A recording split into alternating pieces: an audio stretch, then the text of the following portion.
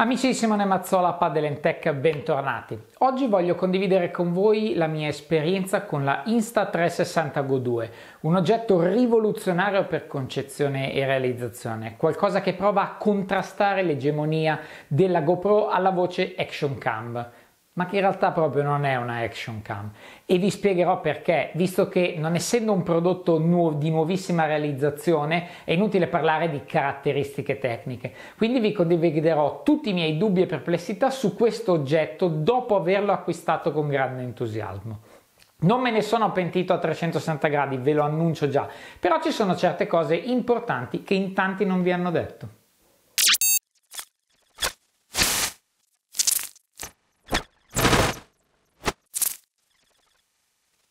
Io ho acquistato la Insta360 Go 2 per creare dei contenuti diversi, particolari, molto spesso dei b-roll da aggiungere ai miei video, che avessero una prospettiva diversa ma che al tempo stesso non mi obbligasse a dedicarci mani, tempo e idee, mentre magari il focus dei contenuti fosse qualcosa di diverso.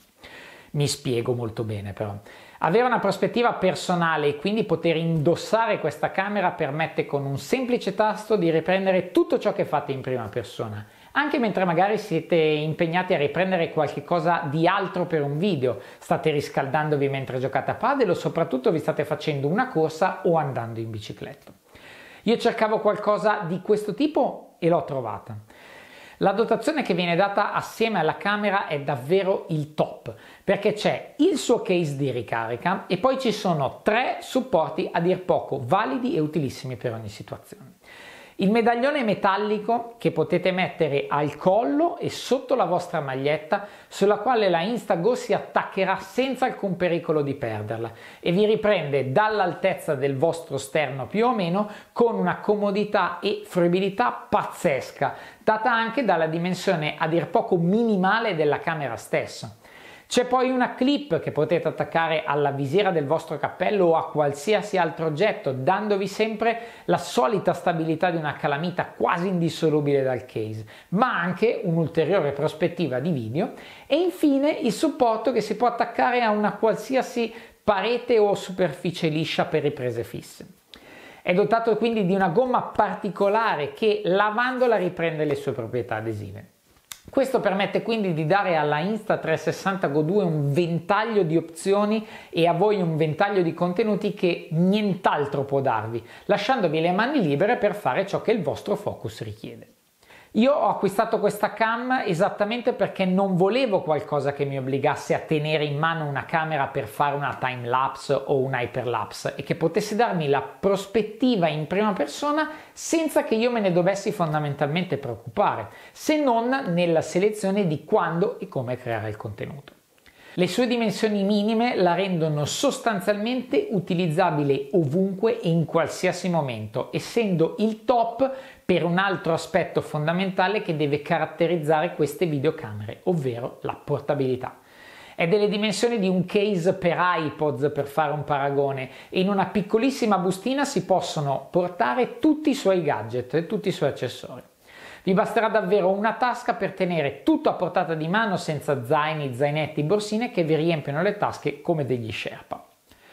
Se cercate qualcosa che possa fare dei video tendenzialmente di breve durata, da una prospettiva diversa e che sia il meglio della portabilità, è assolutamente il prodotto che fa per voi. Detto questo, ci sono dei ma che bisogna per forza tenere in considerazione quando si fa un acquisto del genere, visto anche il costo non necessariamente a buon mercato di questo oggetto.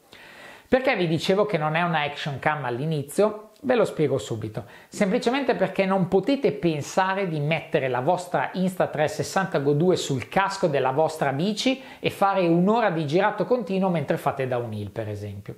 La Instago, essendo fisiologicamente molto contenuta come dimensioni, ha anche un'autonomia di batteria molto bassa e sebbene la casa madre indichi mezz'ora come tempo di utilizzo continuativo al massimo delle prestazioni, questa cam non ci arriva e spesso non arriva neanche ai 25 minuti consecutivi di utilizzo.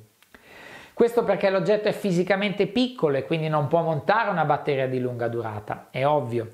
Il case in cui lo mettete funge da stazione di ricarica e per esperienza personale vi garantisce due ricariche piene in mezz'ora ciascuna per poter ritornare a utilizzare la vostra camera stand alone, quindi staccata dal case. Questo preclude però molti utilizzi, soprattutto quelli in cui voi registrate a getto continuo per una o due ore e poi ritagliate solo le parti migliori dei vostri contenuti. Se cercate questo la Insta360 Go 2 non è ciò che fa per voi. Inoltre un enorme difetto di questa camera, che non ho visto menzionata in tante review che ho consultato, è la connettività. Essendo così piccola non è dotata di uno schermo e quindi dovete per forza collegarla all'applicazione del cellulare per vedere cosa state riprendendo o cosa vorreste riprendere. La sincronizzazione con l'applicazione è letteralmente infinita. Ci vuole poco meno di un minuto per far sì che i due dispositivi parlino e onestamente per un prodotto da quasi 300 euro utilizzato in mobilità e per fare contenuti speedy non può essere accettabile.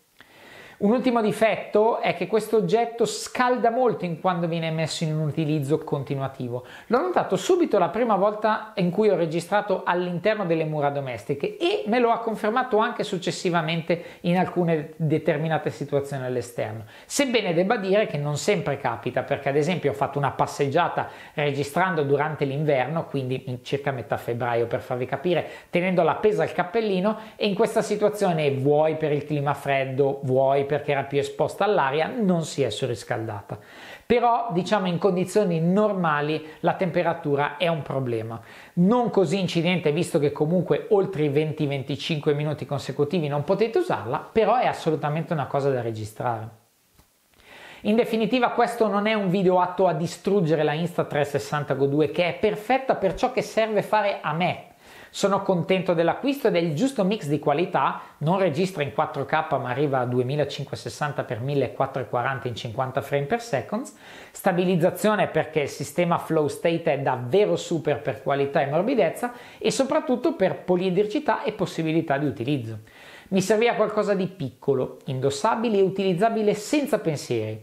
Per questo vale ogni singolo euro che spenderete, perché un oggetto così sul mercato non si trova. Detto ciò, non condivido la definizione di action cam perché è troppo diversa e limitata, se consideriamo di inquadrarla lì, rispetto a una GoPro o banalmente anche alle action cam della linea Instagram. In definitiva, se cercate quello che cercavo io quando ho pensato di acquistare questa cam, siete nel posto giusto. Prendetela e vi darà una flessibilità mai vista. Ma non in molti vi dicono ciò che non va e soprattutto per cosa non è indicata. Spero di avervi aiutato nella scelta di comprare o meno questa Insta360 Go 2 e di avervi chiarito le idee sulle mie esperienze personali. Ormai non essendo più un prodotto nuovissimo era importante dire ciò che gli altri non hanno detto. Per questo se vi è piaciuto il video lasciatemi un like, ma soprattutto vorrei sapere la vostra opinione e la vostra esperienza con questa camera se ne siete già possessori, per mettere ancora più elementi sul tavolo dell'analisi proprio qui sul canale YouTube. Come sempre iscrivetevi al canale se ancora non lo avete fatto. Io vi ringrazio e vi do appuntamento a un prossimo video sempre qui su Simone Mazzola, Padel Tech.